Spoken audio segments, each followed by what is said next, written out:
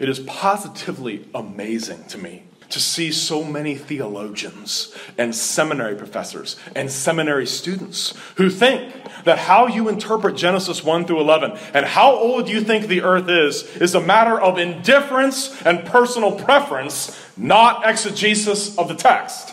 My Hebrew professor, when I was in seminary, openly and vociferously mocked the idea that the Bible teaches that God created in six 24 hour days.